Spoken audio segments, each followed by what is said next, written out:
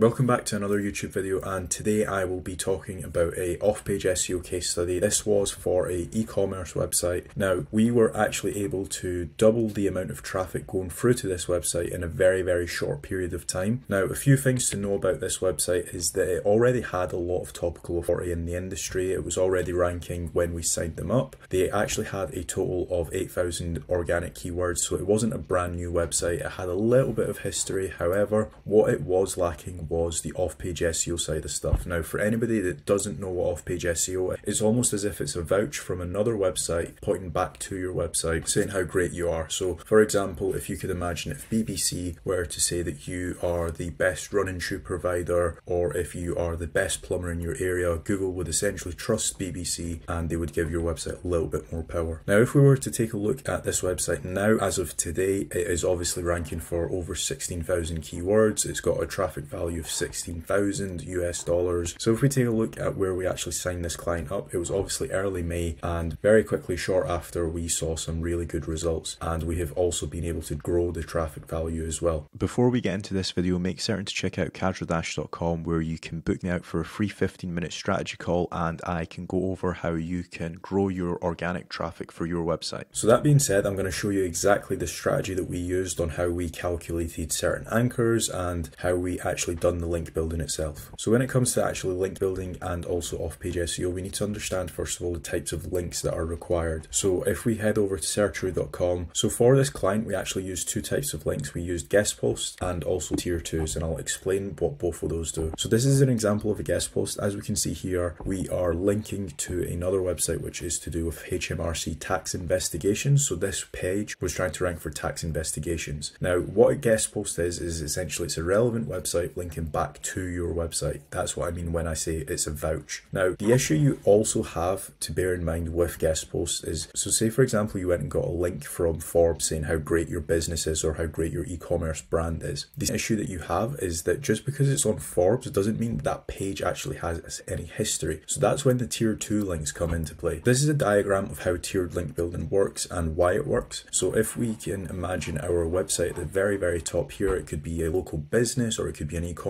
brand, and then you have your guest posts. Your guest posts would be a relevant link linking to one of your money pages, whether it's to do with hire a plumber in London or whether it's to do with buy running shoes. So these would be your guest posts. However, with the power of tier twos, you're essentially building links to your links, which then pass more power and more link juice back up to your money site. So that's why tiered link building works. Not many people do it. It is a little bit more of an advanced link building strategy. However, when you actually start to do it for your website, it works very, very well, mainly because you are passing more power and you're also passing more relevance as well to your guest posts, which then ultimately links back up to your money site. Now, when it comes to actually doing link building, we need to understand the anchor text. So the anchor text is essentially the anchor that links back up to your website. So there are several types of anchor text. There is branded anchors, there's partial match slash phrase match anchors, there's random anchor text, exact match link text, related, and generic and naked link. Now, what I will do is I will link this in the description below. However, we just need to know this because we're going to feed everything to ChatGPT and it's going to automate a lot of our link building. So the first step is essentially calculating what our competitors have. So what I have done here is I've searched for buy wood flooring. This could be any search term you want, but let's say we wanted to try to rank a brand new website for buy wood flooring. So ukwood.co.uk is obviously ranking position one. Now what we would want to do is go onto their website and copy the URL and then go over to Ahrefs. So once we are actually in Ahrefs, what we would want to do is put in the URL at the top and then click on exact. Then what we would want to do is click on to anchors at the left hand side here. Then as we can see here, it has a total of 15 anchors. We then want to click on the export button and import it into Google Sheets. So this is what it looks like once you have imported it onto Google Sheets. We obviously have all of our anchors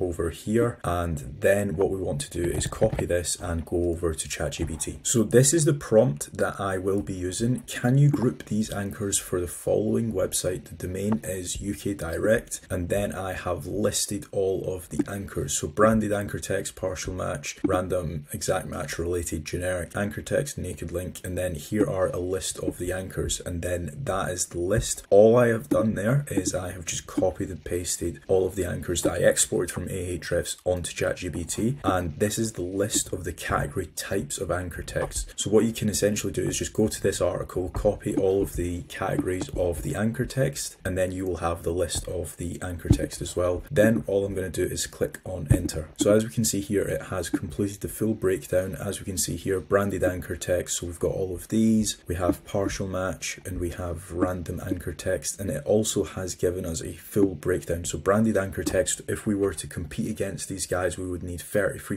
of our backlinks. With branded anchors, we would need 37.5% of our backlinks with the anchor of a partial match or a phrase match. And then we have 12% is random and then 4.17% is generic. So you can calculate the perfect anchor text ratio just by using your competitors and ChatGPT. Now, what I'm also going to do is I'm going to do the exact same process just another time on a bigger website. So then once we have pasted the URL, we then want to go over to anchors and then export all of these anchors. So once we have all of the anchors in our Google Sheet, what we then want to do is just copy and paste all of these over onto ChatGPT with the exact same prompt that we used before. So as we can see here, we have calculated all of the anchors. It actually had 194 different anchors that we very quickly categorized and grouped into subsections. So as we can see here with this brand here, we have got a lot less branded links. We have actually 3.75%, which is way different to the e-commerce brand that we were looking at just before. And then we have a lot more partial and phrase match anchors, 35%. And then we have random anchor text, 8.75,